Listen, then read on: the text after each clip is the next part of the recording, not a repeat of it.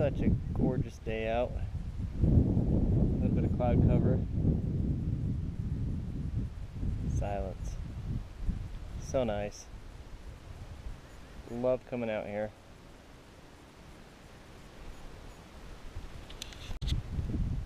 Out hiking day, have a family group from Texas came out and asked us to show them a really pretty canyon. So we're out here hiking on Cedar Mesa and uh, we got to chatting with them on the way in and they spent some time in uh, Arches National Park yesterday.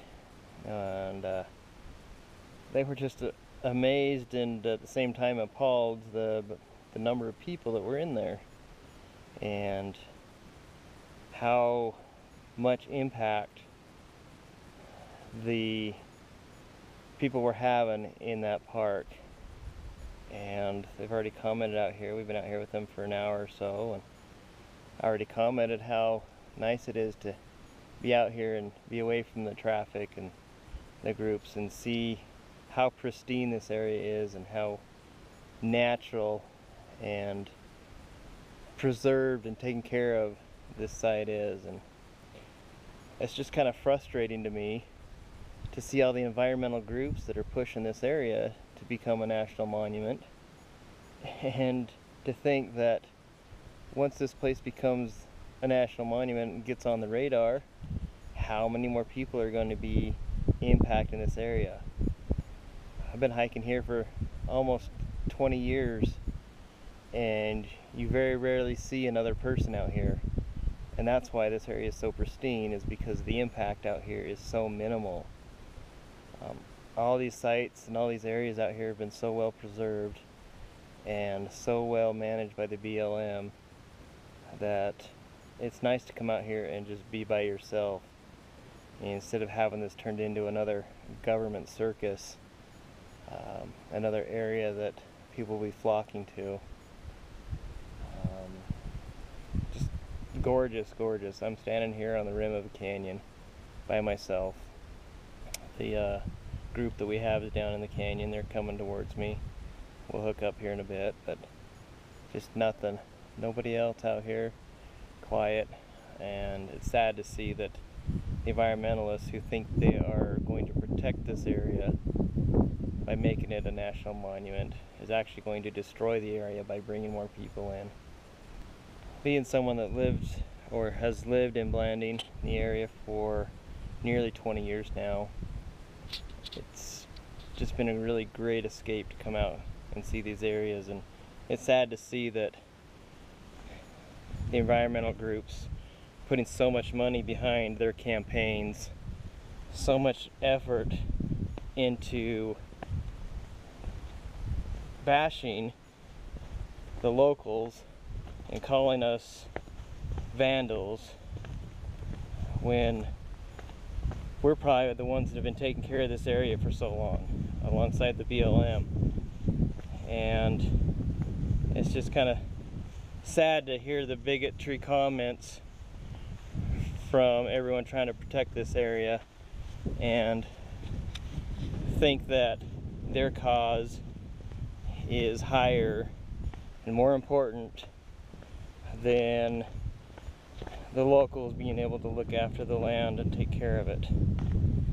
And I mean, so far as this week, have someone comment on Facebook that we don't deserve to even live here and they wished our town would die because this land is more is, more important than the cost of an economy and human life surviving in the area just the atrocity of human beings right now and the way that they're willing to get what they want by taking out another community is just disgusting and it's just the way this country's going. There's no more one for all and all for one. It's me, me, me, me. Give me my land give me my space. No, you can't have it. And it's just annoying. I gotta turn this off because I got a down climb here. Hold on. when can we get to a point in this country that we're back to everybody working together for a cause and not groups fighting against each other because their cause is better than the other.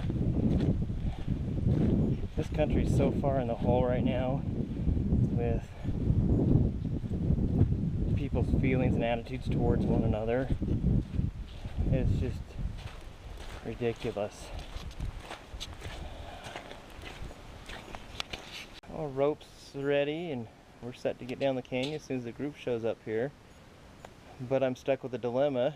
The fact that I'm using equipment, black diamond helmet, black diamond harness, um, other stuff that, um, some Petzl rescue gear and stuff that is now coming from manufacturers that are supporting the monument out here and supporting that push and effectively, in essence, trying to shut me out from being out here and doing this.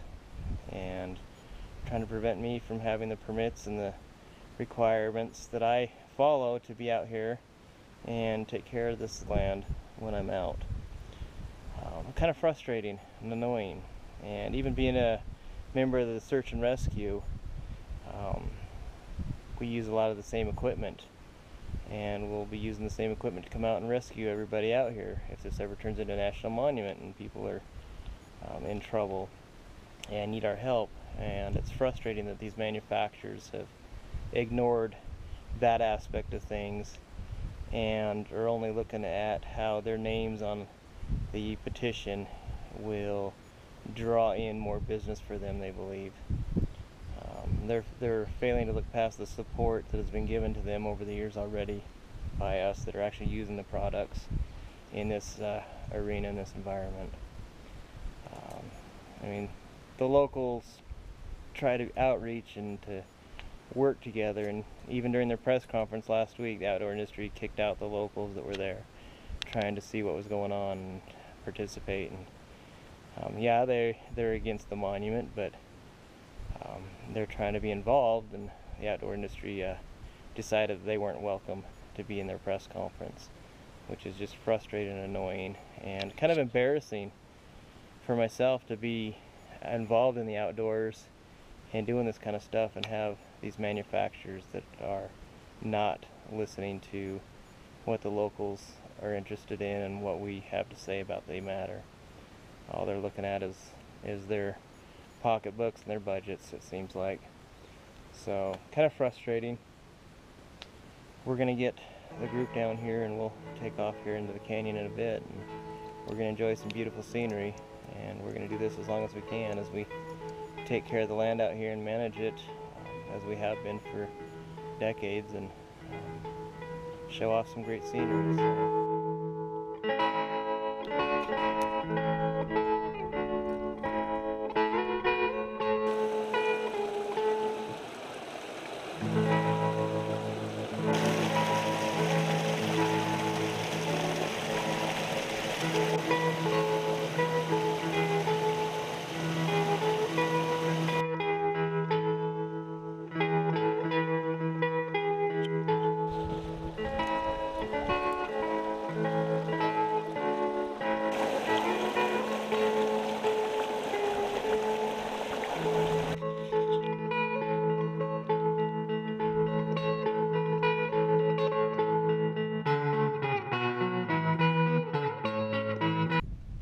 It's an Enviro bee.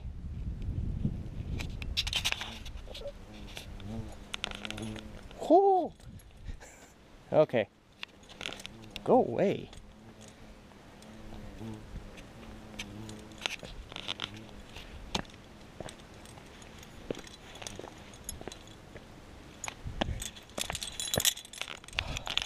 Good grief. It's an Enviro bee. He's attacking me. He's trying to kick me out already.